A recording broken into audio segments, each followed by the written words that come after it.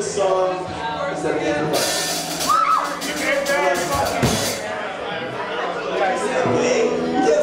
Chick-fil-A can't say that anymore.